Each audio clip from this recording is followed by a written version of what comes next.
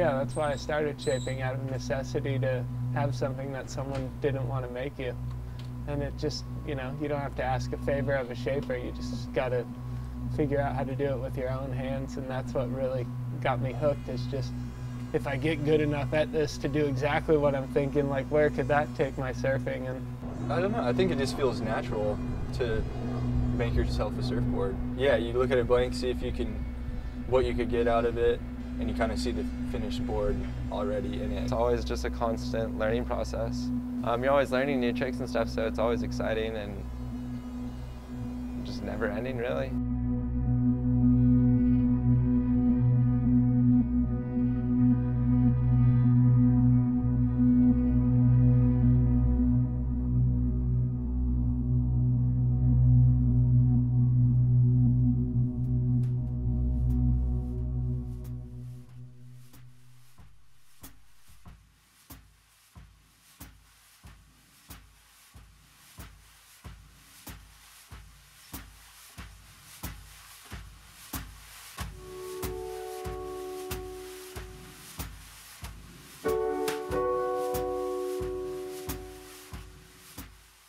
I shaped my first surfboard four years ago, I think, maybe. Something like that. I can't quite remember. Um, when I was 10 and I wanted a new surfboard, but my dad wouldn't buy me one, and so I had to make one. like a five nine single fin. It was sick. Yeah, it was so much fun. Super edgy. If you looked at it, it would look like it was definitely a first board and sketchy, but it was really fun. I shaped my first surfboard when I was like 16 years old. I had a blank and I went to the kitchen and got some kitchen tools and started shaping it with a cheese grater. Uh, the first board I shaped was a 9.5 longboard. Yeah, the, the first board I built, I enjoyed building it more than I liked riding it. So as soon as I was done with it and tried it, I wanted to just get back in the bay and make another one right away. Probably when I was like first got into surfing, I just was instantly drawn to board design because I like to draw. So I'd just like draw surfboards. The first surfboard I made was a five six single fin round tail egg. I think I was 14 and my ninth board was the first board that I was like, oh, like it feels symmetrical. It looks sharp and symmetrical. the first all of them, they're just so weird and it's awkward holding the planer and everything's just brand new to you still. So after you're 50 or 60, you start to get used to it. There's definitely a huge learning curve getting used to the tools, like the planer and stuff. Once you master the tools a little bit, then it's way, way more endless. Then it's just all about how you're thinking about boards and what, what you want to make. Yeah, I made a 5.5 little ASIM Twinser. It has two little fins in front of the twin fin that are pretty splayed out. That fin setup is kind of like a new feeling for me, I guess. I haven't really done too many of them. A couple that I've made seem to work pretty good and give you like a nice drawn out connected feeling on a wave. So pretty excited about it. I hope it works.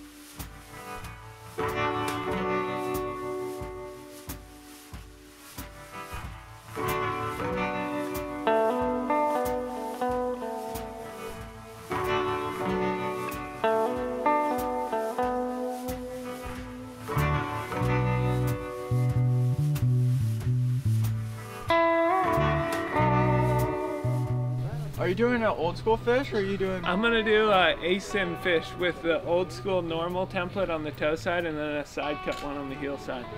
Because I really like the way the side cut thing engages like backside bottom turns and front side off the tops. Like it has like a real snappiness, but sometimes it's too you don't want it on your on the toes. Yeah. I actually used to. I was taught to like watch the blade, so I'll usually go.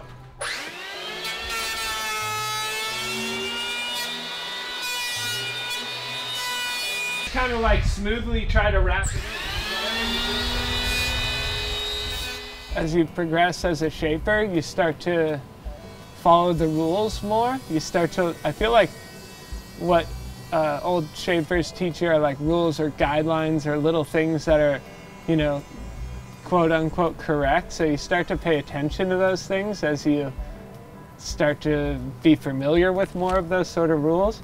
And so I think as it like at the beginning of shaping, like your first couple goes at it and stuff, just how screwed up the voids are. Your your surfing is really unique on those things, and I think it's kind of a, a time that you can't reproduce. I've never met anyone who's shaped like 10,000 boards and still shapes like they shaped in their first hundred. Like it's just natural. You're gonna change the way you do it. The best times are when you're just lost in it and it's just like it's all- all your consciousness. So it is like a meditation. Like that's my favorite time of shaping is when there's not any disruption whatsoever. You're it's just like that's all there is, you know.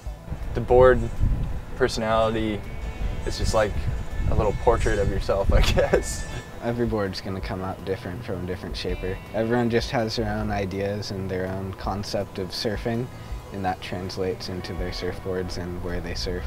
I still don't think I can make a board as good as Mayhem, obviously, or anyone. But uh, the whole thing is just making a board yourself and going out there with no expectations and trying your best to make what you made work. Board made on this trip has very little rocker. It's really flat, and it's a couple inch- inches shorter than my normal board. It's about five, five or six. A squash tail that goes into a swallowtail combination thing. It's got a, a beak nose on it to sort of hide the volume in the nose. I guess generally mine have uh, pretty much no rocker in them. I tend to cut the rocker off because if everything else sucks on the board with no rocker, you're gonna go fast.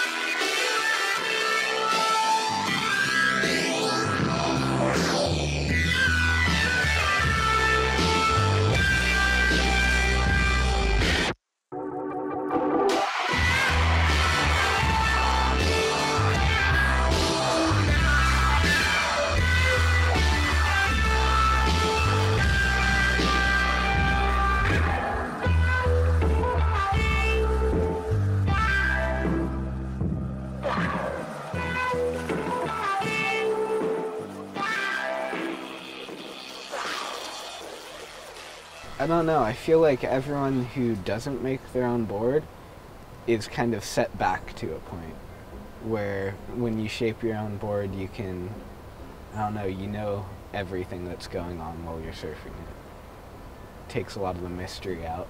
Yeah, I mean, it's made it so much more dynamic because I'm like always problem solving when I'm surfing. You know, you're riding something that's new that you're trying to like break down and figure out you, what went right, what went wrong, what I want to incorporate into my next board, and what I want to change about it. And it's a lot more just interaction between you and the board, and plus the interaction that is with nature and and all that. It just seems like something fun to do, and you could fine tune it. And like the gear, the wheels are always spinning. It's always really exciting to be trying something different and trying to break it up and figure it out. It is nice to be able to to do that for yourself, and it seems pretty natural and follows your passion of surfing. I think that's why everyone here gets along so well. Everyone loves surfing so much they make themselves surfboards. oh, nice. Sick. It's done. Nice. Thing looks mean. How does it feel under the arm?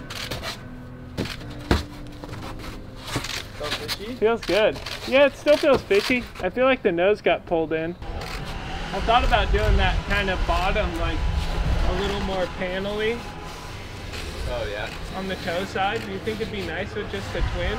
The that panel thing would work sick with your uh, With the squid, with the squid, and just yeah. destroy it right there, like early finish style. Usually when you make boards, you always have a spot in mind or just a different shape that you normally ride at a certain spot. And so when you make your own boards, you, you just feel that like in the board and in your surfing and so it's more honed in.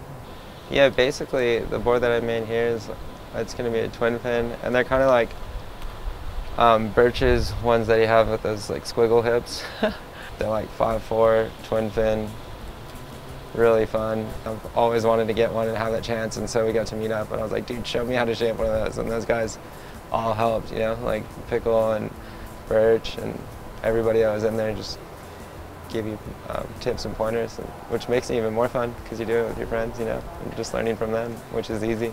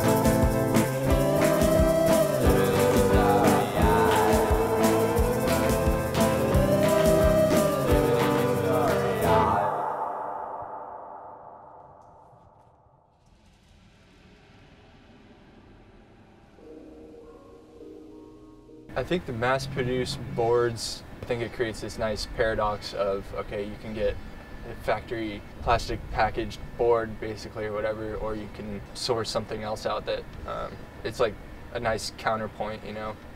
for so many people it's a, a passion as well and a joy or a hobby or whatever it just makes surfing that much more personal and then if you also get good enough and like you can give that joy to somebody else and it's just such a great history and to know about all the people that have come before you and the things they did and all the tricks of the trade and just all the amazing stories that well that come with it and its own it's just, i hope it never dies you know, the technology side of it, which is there for the masses and the general public, but there's like always going to be you and your blank and your surfboard in a shaping room. I was really happy to make a small fish. It was cool to see everyone making the same type of board too and kind of pushing each other for that. I used Ryan and, Derrick's templates and mixed them together and turned it into a little, I think, 5-3 twin fin with an E-wing. Uh, Derek showed me how to do that and so I'm pretty excited for it.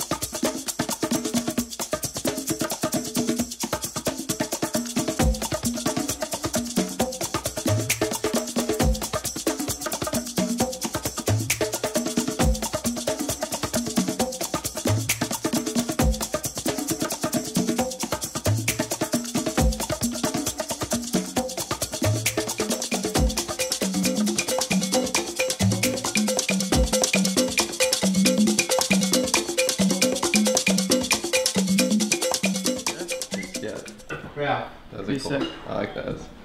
Cool. We'll get one of those, huh? What do you usually glass your boards with for the top? Um, it just depends. A lot of times I just do double four, single four. Yeah. If they're gonna be shreddy little boards or fishes, I'll do like six bottom and then like six four deck. My name is Chase Davenport, and I'm the shop manager and shaper at Sunset Shapers. And we've been around for eight years now. So Peter at Surfer got in touch a few months ago um, with a very well organized plan to glass six boards from Southern California Shapers over the course of, I think it was three or four days at that point. And then every time I talked to Peter, he kept on being like, well, maybe it'll be like three and a half days. Maybe it'll be like at least three and a quarter days. And then by the time it all started, it was 48 hours and we had six boards with glass-ons to build. We got everything laminated. We got all the fins on last night. And then today was pretty much just me. I mowed all the boards, did lap grinds, final sands, and it was like, what was it, 48 hours and the boards were done for six of them. So I've had people ask for like 24 hour turnarounds and like with a single board, like, yeah, that's fine. But 48 hours for six boards, I think that's my new record for sure. Thank you, man. Yeah, thanks a lot, man. Start to try it. It was amazing that they were able to build those boards on just like constructed racks late at night over the course of like 24 hours. Yeah, I made an asymmetrical fish. Um, I feel like I kind of don't have a real nice fish in my quiver at the moment. I have really old ones that I've ridden all over the place, but it's nice to have like a wide, short little keel fin board in the quiver. You don't, I don't seem to break them as often, so you can kind of take them as a, as a short board that you don't plan on breaking, and they're just really fast and zippy and fun. And the one I made here, I made it asymmetrical, um, partly because it's easier to shape asymmetrical boards because both sides don't have to be the same. In a different shaping environment, I wanted to make it as easy on myself as possible.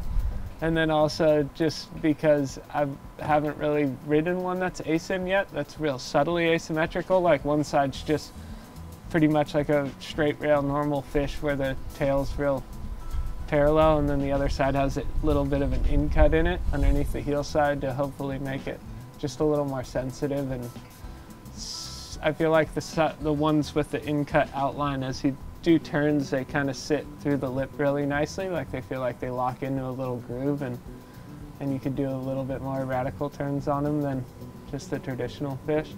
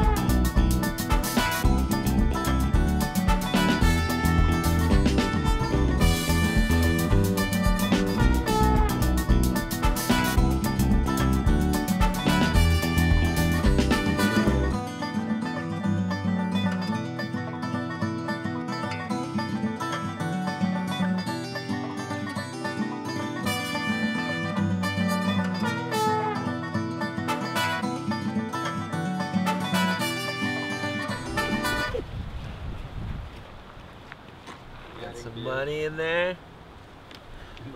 Put some money. We got money in the pinata! Well, pretty good feeling about this. Uh, hi! Hi! Yeah!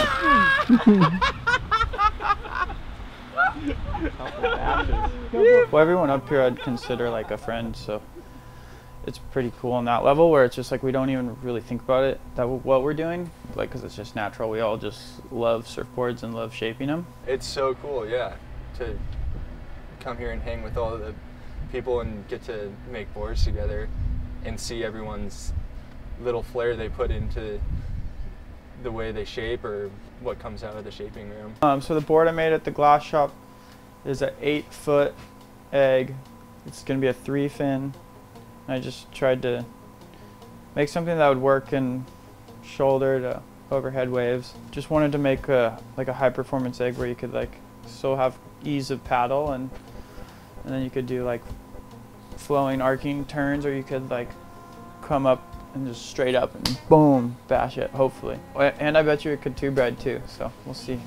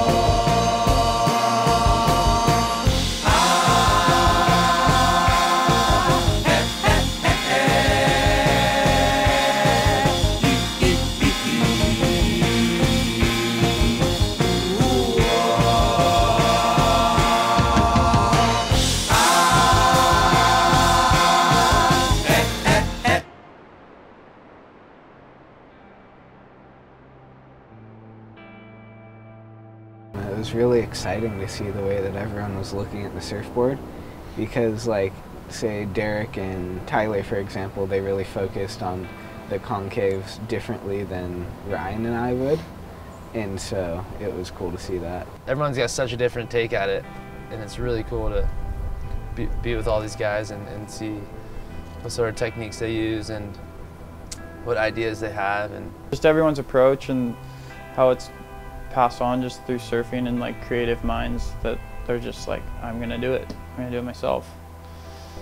Takes a certain type of person to figure it all out and want to be in this room with these lights on and make a board